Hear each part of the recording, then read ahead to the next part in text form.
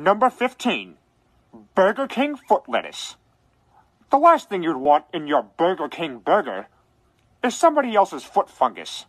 But it turns out that might be exactly what you get.